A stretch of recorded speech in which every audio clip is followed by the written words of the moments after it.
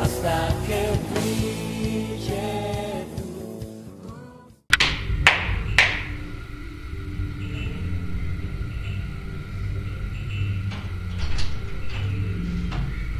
Hola mi amor, ¿cómo estás? Hola mi amor, bien. Qué bueno, gracias a Dios. ¿Qué tienes? Lo que pasa es que no compré los boletos del campamento a tiempo y me salieron al doble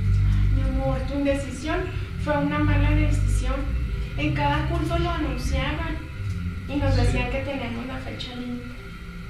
Sí. Bueno, está bien, tengo algo para ti. Espera. Pasa. Pero.